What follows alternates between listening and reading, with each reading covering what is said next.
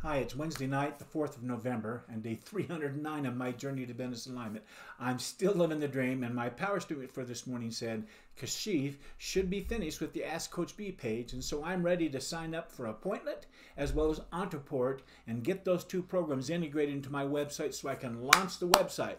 Well, here's what I had on my to list, to-do list for today, which is Wednesday. Got them all down and mentioned to that. My most important task for today was to follow up with Kashif to see if one of the bugs was fixed on that Ask Coach B page that I found yesterday. My fun task for today was to order the Appointlet Premium Plan and the Ontraport membership system so we can start those integrations, but only if Kashif had the Ask Coach B fixed by today. And my exciting task for today was to keep working on the remaining tasks that I'm checking off off of my master task list. Well, because these three main tasks hinged on Kashif fixing them during the night while I slept, I have to say that when I woke up this morning and checked on the Ask Coach B page to see if th that bug has, had been fixed, I found that it hadn't been fixed yet. I, I tested it several times and the same error kept coming up, and so I wasn't able to do the other two fun and exciting tasks today.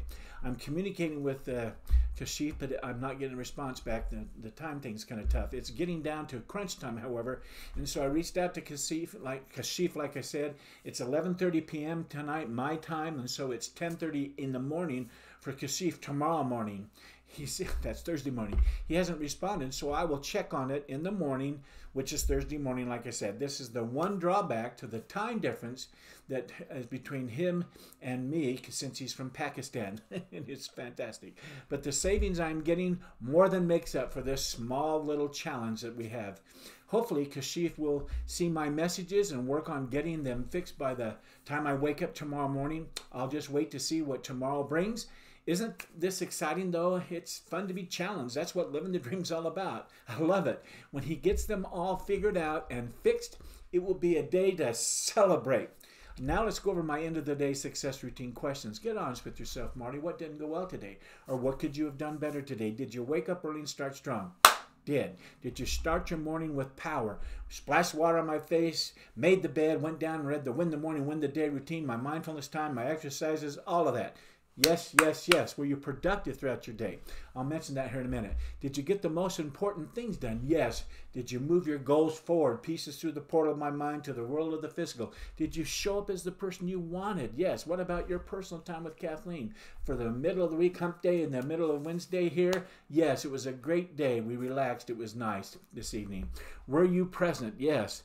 And here's my end of the day success routine accountability questions. Were uh, you honest with yourself this morning, Marty, about the task that you promised that you would get done? Well, I promised myself that I would make sure that all the bugs were fixed so that they wouldn't show up in my focus group going forward.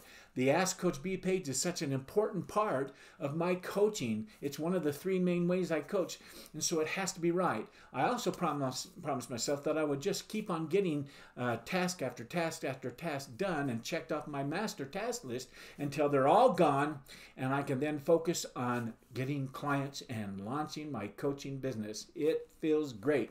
I also promised myself that if all the bugs were fixed, I would make those two calls into Ontraport and Appointlet. As things uh, turned out, however, I didn't make those calls because Ask Coach B page isn't ready yet. Once again, I'm holding off until tomorrow to call them, but those are going to be two fun calls.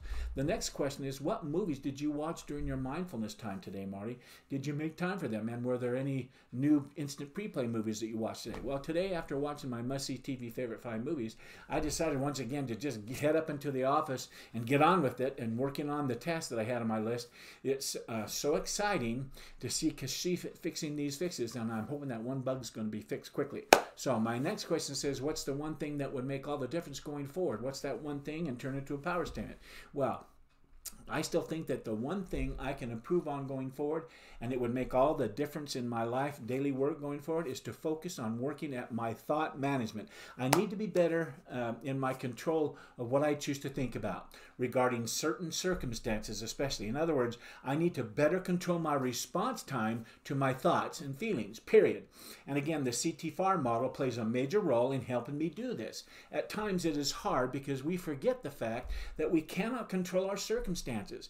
We can't change the things out of our control, such as what other people choose to do, especially when it is so bad and impactful on our lives. And I can. Uh, all I can do is control myself, like I said, by controlling my thoughts, especially what I choose to make those circumstances mean to me in my life. That's why the one thing I am doing now is I'm choosing to focus on me and on being the better me and how I can show up each day and serve me best. I know this will make a huge difference in things going forward. So, with that said, here's what I came up with for my power statement. I'll stay focused on thinking the kind of thoughts that empower me and give me back my power. And I will use the power to do what I need to do in order to succeed in my dream to become a great beginner entrepreneur, entrepreneur, business coach, every day going forward. The next question I answer at the end of each every day before I go to bed as part of my end of the day success routine. There, I did that again. Success routine is to ask myself, were there any mistakes or failures that you may have made today, Marty, that I can turn into a tool of success going forward? Well, there was another possible mistake that I may have made, but I won't know if it was until the end of the day tomorrow.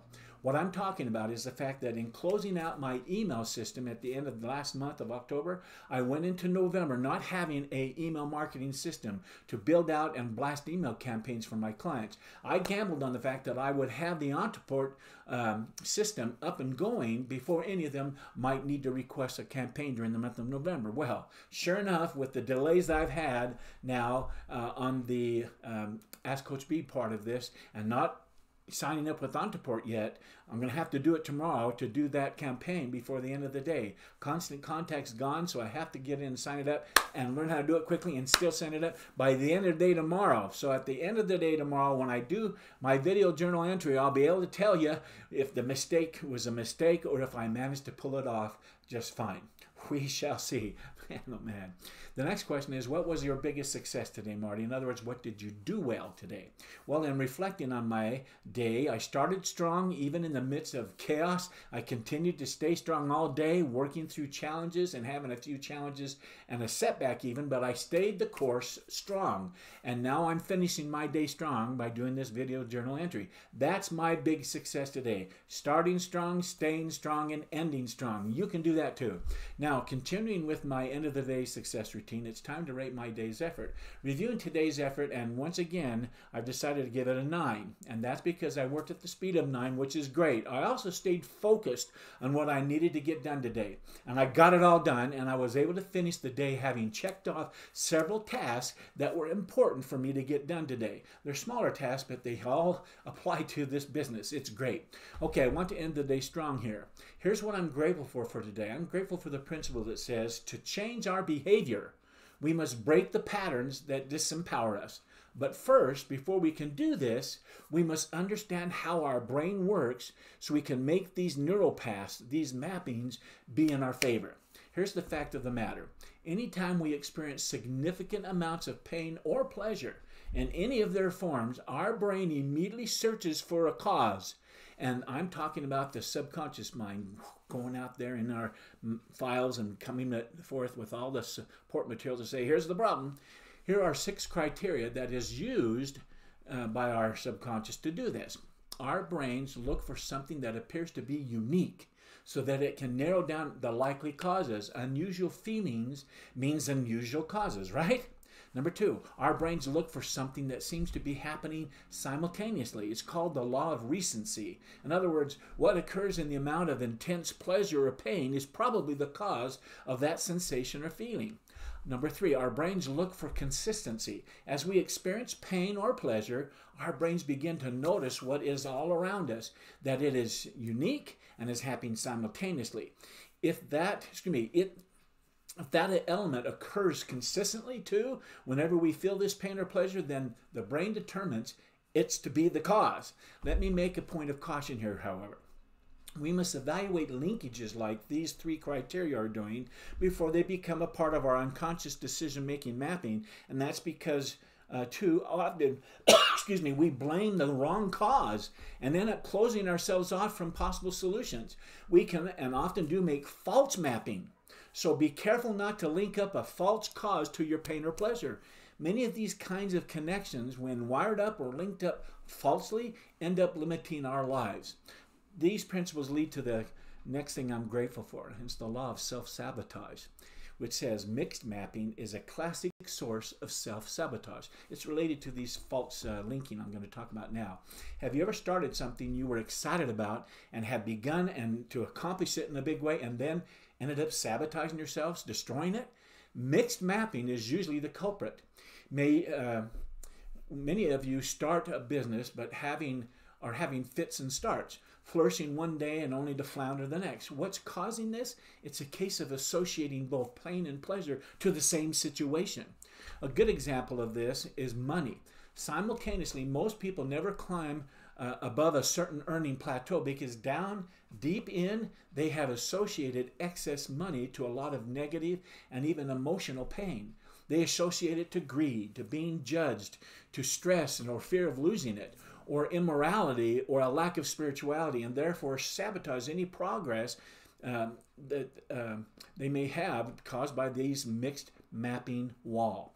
Brainstorming all the positive associations you have regarding wealth and all the negative, negative ones you have too may reveal your own mixed mapping that is causing you to sabotage your own success.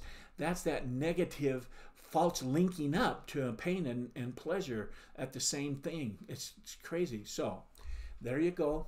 Oh, I do want to make this one comment. Tony Robbins said, when you give your brain mixed messages, you're going to get mixed results. Isn't that great? There's a science to all, all of this. Like I said, keep in mind that it is not just the number of factors on each, excuse me, I got something in my throat here. on each side of the ledger of pain versus pleasure, but the weight each of them carry. It's possible that you could have more pleasure than painful associations about money, for example, but it, if just one of the negative associations is very intense, then that false mixed mapping or association can sabotage your success financially. Let me repeat that. It's possible that you could have more pleasurable than painful associations about money, for example, because you've connected it up, you linked them up, you false map mapping. But if just one of these negative associations is very intense, then that false mixed mapping or association can sabotage your success financially. Well, there you go. Once again, it's time to go to bed. And so until we meet again right here at my laptop tomorrow night, I wish you all continued success. Good night.